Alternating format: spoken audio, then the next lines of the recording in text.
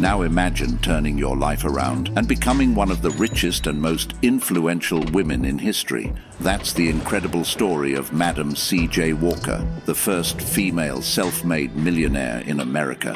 Madam C.J. Walker was born Sarah Breedlove in 1867, the daughter of former slaves. She suffered from a scalp disorder that caused her hair to fall out. She experimented with various remedies and created her own line of hair care products for black women. She marketed her products door to door and trained thousands of sales agents, known as beauty culturalists. She built a business empire